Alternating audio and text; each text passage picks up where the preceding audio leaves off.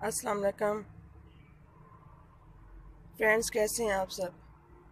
I hope कि अच्छे होंगे और अपना और अपने प्लांट्स का खूब अच्छे से ख्याल रख रहे होंगे। इतनी धुंध में अपने प्लांट्स का ख्याल रखना भी बहुत मुश्किल हो जाता है अपने साथ साथ सर्दी में तो बुरा हाल हो रहा है। इस कदर सर्दी है, कल बारिश होने की वजह से और औस पड़ने के, वो ओले पड़ने की वजह से बहुत ज़्यादा ठंड थी और पौधों की काफ़ी कंडीशन ख़राब थी। और आज यूँ कोहरा जमा हुआ है प्लांट्स पे। ये देखें। ये देखें। प्लांट्स बिल्कुल वाइट हुए पड़े हैं। और यूँ ड्रॉप्स टपक रहे हैं ना तमाम प्लांट्स से। और अपने ही घर में कुछ नज़र नहीं आ रहा। बाहर का तो कहीं क्या कुछ नज़र आएगा यूँ? ये देखें। इस कदर सर्दी है, इस कदर सर्दी है, सांस लेना मुश्किल हो रहा है। और रोजेस की हालत ये रही। ये देखें। प्लांट्स यूँ हैं जैसे बहुत ज़्यादा पानी डाला होता है इनके ऊपर। बहुत ही ज़्यादा सर्दी हो रही है।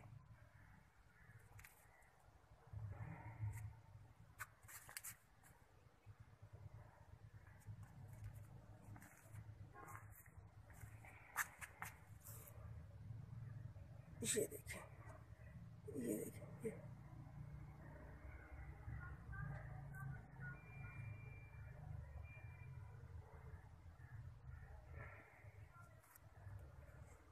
और इतनी सर्दी में अब वीडियो बनाना भी मुश्किल हो रहा है। ये देखें। यूँ ही।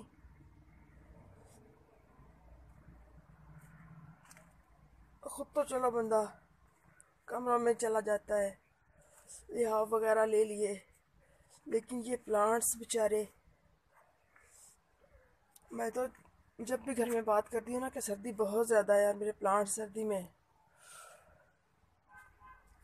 तो मेरे मियाँ साहब और मेरे घर वाले मज़ाक करते हैं, मुझे कहते हैं स्वेटर जर्सियाँ पहना दो अपने प्लांट्स को। अब चंद देखो तो मैं स्वेटर जर्सियाँ पहना दूँ, अब इतने सारों को मैं स्वेटर जर्सियाँ कैसे पहनाऊँ? कुछ को तो नेट के नीचे कवर करने की कोशिश की है, लेकिन नेट के नीचे भी यूँ है जैसे प्लांट बिल्कुल नहाए पड़े हैं पानी में। नेट के बीच में से, ये देखें नेट के बीच में से पानी टपक रहा है जगह जगह से, बहुत ज़्यादा। यूँ। सारे के सारे प्लांट्स बहुत ही ज़्यादा ना, सर्दी की वजह से बेचारे खुद को बचाने की कोशिश में हैं। तमाम प्लांट्स नेट के नीचे भी भीगे पड़े हैं और गमलों की मिट्टी भी फुल गीली है अच्छी तरह से।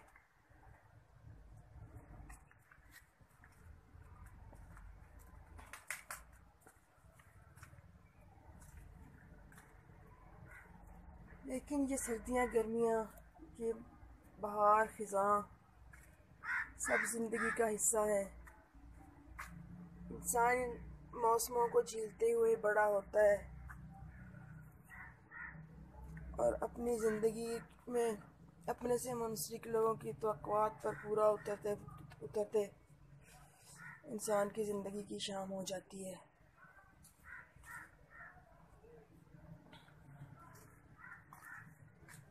ये देखें, ये प्लांट भी मेरा बिल्कुल अच्छे तरीके से नहाया हुआ है। बहुत ज़्यादा सर्दी है, बहुत ही ज़्यादा सर्दी है।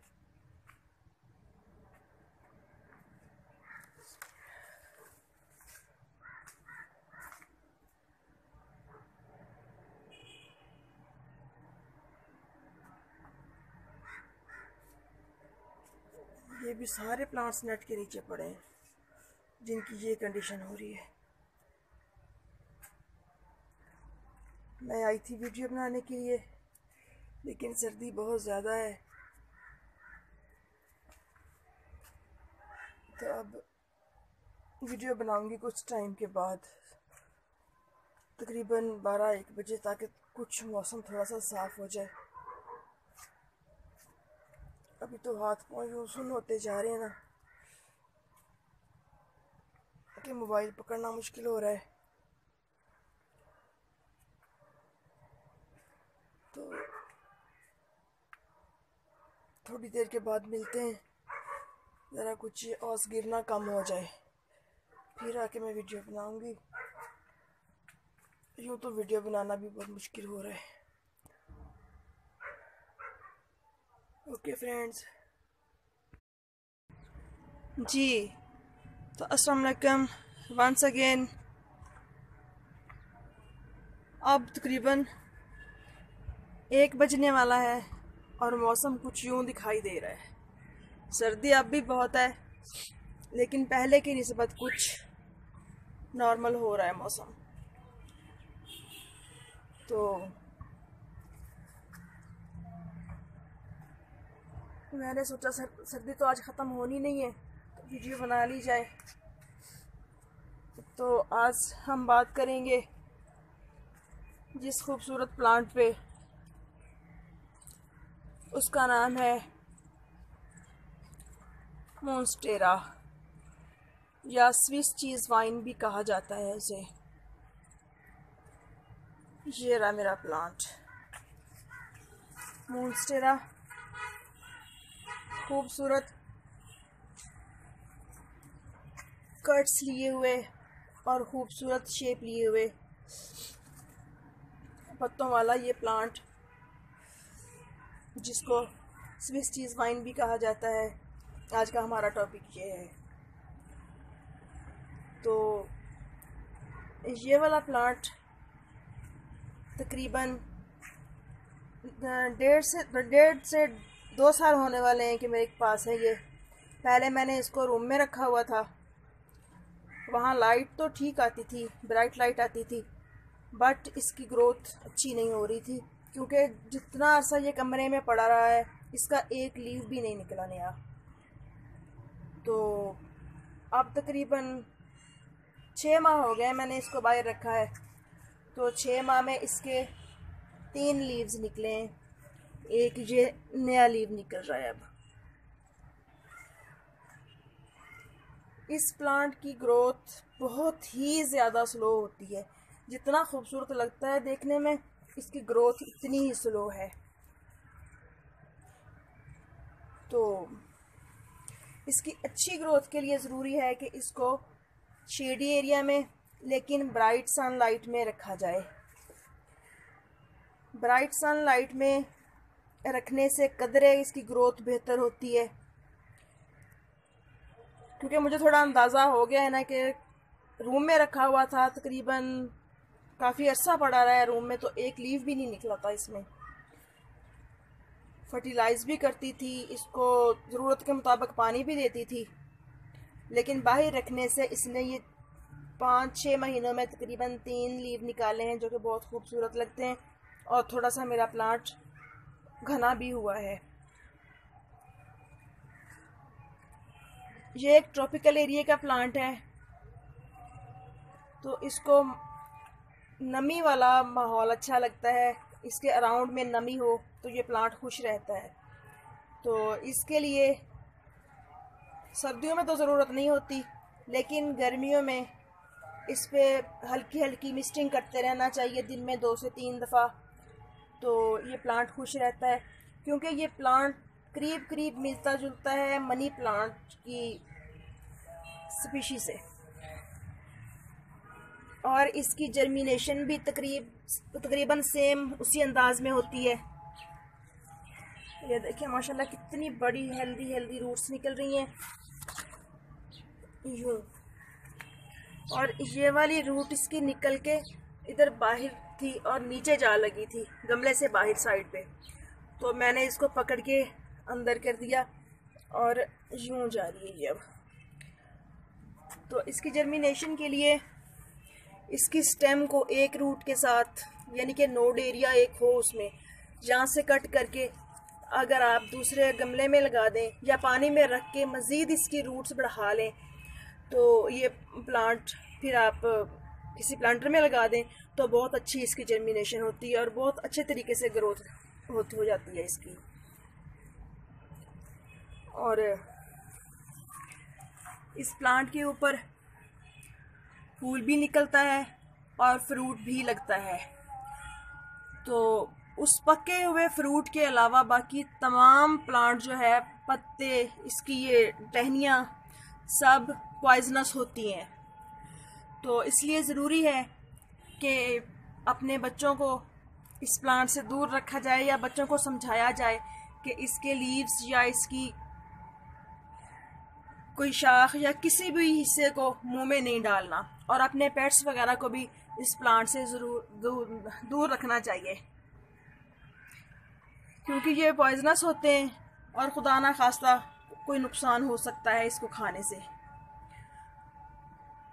तो पका हुआ जो फल होता है इसके ऊपर उसको खा, खाया जा सकता है। अदरवाइज़ ये प्लांट डेंजरस है थोड़ा। तो बच्चों को इससे दूर रखना ही ज़रूरी है, क्योंकि एहतियात अच्छी चीज़ होती है। बाकी वाटर की बात करें तो इसको बहुत ज़्यादा पानी की ज़रूरत नहीं होती। जिन इलाकों में बारिशें वगैरह बहुत ज़्यादा होती हैं और नमी रहती है, वहाँ तो इसको बहुत कम पानी की ज़रूरत होती है। लेकिन गर्मियों के मौसम में हमारे जैसे इलाके जहाँ पे काफ़ी ज़्यादा गर्मी पड़ती है तो वहाँ ज़रूरत के मुताबिक देख के जब इसकी मट्टी सूख जाए तो इसको पानी दिया जा सकता है। क्योंकि बहुत ज़्यादा पानी डालने से डालने से इसकी रूट रोट रोट हो जाएँगी और पौधा मरना शुरू हो जाएगा। और ये पौधा होता भी काफ़ी एक्सपेंसिव है, इसलिए इसकी केयर और भी ध्यान से करनी पड़ती है। और पेस्ट वगैरह इस पर कम ही अटैक करते हैं, क्योंकि ऑलरेडी ये खुद पॉइजनस प्लांट है। तो अगर कभी कुछ नज़र आ भी जाए, कोई मिली भग वगैरह या तेला या वो वाइट फ्लाई वगैरह तो इस पे आप होममेड स्प्रे कर दें। तो ये पौधा ठीक चलता रहता है। और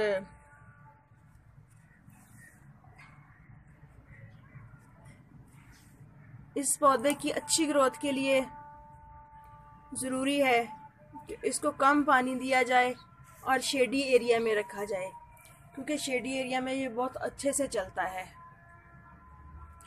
बाकी खाद वगैरह इसको बनाना, पील का जो लिक्विड फर्टिलाइज़र होता है, मैं वो भी डाल देती हूँ। और जो मस्टर्ड केक का लिक्विड फर्टिलाइज़र बनाते हैं, वो भी डालती हूँ इसे। और चंद दाने डीएपी के डाल दिए। जब बाकी तमाम प्लांट्स को फर्टिलाइज़ करना है तो साथ इसको भी कर दिया। तो इसकी ग्रोथ अच्छी होती है। और दूसरा कहा यह जाता है कि इसकी अच्छी ग्रोथ के लिए, क्योंकि अब ये जैसे ये पॉट छोटा है तो इसमें रूट्स ज़्यादा बन गई होंगी और मट्टी कम रह गई होगी। तो किसी छोटी सी बोतल में कोई लिक्विड वाला वाटर डाल के लिक्विड फर्टिलाइज़र वाला वाटर डाल के, जैसे वो गोबर खाद का जो बनाते हैं कंपोस्टी वो डाल के, इसकी जड़ों को उसके अंदर डाल के, बेशक इसी प्लांट के साथ यहाँ से, यहाँ पे लटका दिया जाए, क्योंकि इसकी ग्रोथ अच्छी हो तो ये स्टेम और भी मोटा हो जाता है। तो इसके साथ इजीली आप छोटी सी बोतल को किसी को भी लटका के, ये जड़ें उसके अंदर डाल सकते हैं। तो इसको पानी की और फर्टिलाइज़र की इसकी ज़रूरत पूरी होती रहेगी तो हमारा प्लांट बहुत अच्छा ग्रो करता रहेगा।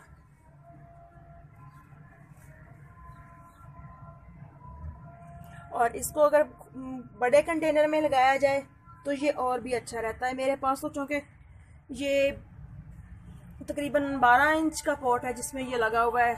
ये मैंने जैसे नर्सरी से लिया था, मैंने अभी इसको ना रिपोर्ट नहीं किया। ये मेरे पास वैसे ही चल रहा है। और इसकी ग्रोथ काफ़ी अच्छी चल रही है। इसलिए मैंने अभी इसको रिपोर्ट करना मुनासब नहीं समझा। तो जैसे ये थोड़ा सा और बड़ा हो जाएगा प्लांट जैसे ये वाला नया लीव निकल रहा है, इस तरह के पाँच छः लीव मज़ीद निकल आएँगे, थोड़ा लंबा हो जाएगा प्लांट तो फिर मैं इसको रिपोर्ट करूँगी। और इसके साथ मोस्टिक भी लगाई जा सकती है। जैसे वो स्टिक के ऊपर पर्सन की बोरी वगैरह लपेट के या कोई नेट वगैरह लपेट के या कोई भी घर में भी हम बना लेते हैं तो मोस्टिक लगा के इसकी रूट्स को उसके साथ बल दे दिए जाएँ और उस मोस्टिक पे फर्टिलाइज़र का स्प्रे कर दिया जाए और डेली पानी की एक दो दफ़ा मिस्टिंग कर दी जाए गर्मियों के मौसम में तो ये प्लांट बहुत अच्छा चलता है और बहुत अच्छे से इसकी ग्रोथ होती है। और देखने में भी काफ़ी खूबसूरत लगता है। बाज़ लोग कमरे में भी रखते हैं, जैसे मैंने शुरू में कमरे में रखा था तो कमरों में इसकी ग्रोथ अच्छी नहीं होती, क्योंकि इसको ब्राइट सनलाइट चाहिए होती है। अगर रखना ही हो किसी ने कमरे में तो इसको वहाँ रखें जहाँ पे विंडो हो और ब्राइट सनलाइट आए इसके ऊपर, लेकिन सूरज की रोशनी ना आए, क्योंकि अगर सूरज की रोशनी आएगी तो इसके पत्ते बर्न होना शुरू हो जाएँगे। तो इसके लिए ज़रूरी है कि आप विंडो में कोई हल्का फुल्का सा पर्दा या कोई नेट वगैरह लगा के नेट का पर्दा लगा के तो फिर वो ऐसी जगह पे इसको रखें कि जहाँ पे इसको ब्राइट लाइट तो मिले, लेकिन सन लाइट ना मिले। ज़्यादा सन लाइट में ये पौधा जलना शुरू हो जाता है। तो आज सर्दी भी बहुत ज़्यादा है। मेरा ख्याल है कि मैंने इसके मतलब जो बातें की हैं, आपको पसंद आएँगी। और हाँ अगर इसके लीव्स जलना शुरू हो जाएँ, जैसे ये मेरा प्लांट सर्दी में पड़ा है ना, बाहर नेट के नीचे तो ये देखें, इसके पत्ते यूँ बर्न होना शुरू हो गए यहाँ से। तो इसको आप यूँ कैंची के साथ कट कर सकते हैं और इसको ना, इसकी अच्छी सी शेप में ला सकते हैं यूँ, क्योंकि जले हुए पत्ते प्लांट पे अच्छे नहीं लगते और प्लांट भद्दा नज़र आता है।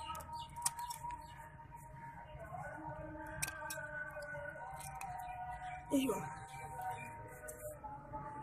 सर्दी की वजह से सारे पत्ते जल रहे हैं। अब मौसम चेंज हो जाएगा इंशाल्लाह करीब तो मेरा प्लांट ठीक हो जाएगा। बाकी मैं इसकी जड़ों में ये जो पत्ते शत्ते रखे हुए हैं जलिए जले ये देखने में तो बाजू का बुरे लगते हैं। लेकिन एक तो ये मल्चिंग का काम करते हैं, पौधे को सर्दी, पौधे के रूट्स को सर्दी की शिद्दत से बचाते हैं, और दूसरा इसमें नमी बनी रहती है। जो कि पौधे के लिए फ़ायदेमंद होती है। और जब इसकी ये रूट्स बाहर को गमले के बहुत ज़्यादा लंबी हो जाए तो इनको आहिस्तगी से अंदर कर दें, ताकि मट्टी से इस, इनको मॉइस्चर मिलता रहे और फ़ूड वगैरह मिलती रहे। तो ओके फ्रेंड्स फिर मिलते हैं नेक्स्ट टॉपिक के साथ। किसी नेक्स्ट वीडियो में। इजाज़त दीजिए। अल्लाह हाफिज़।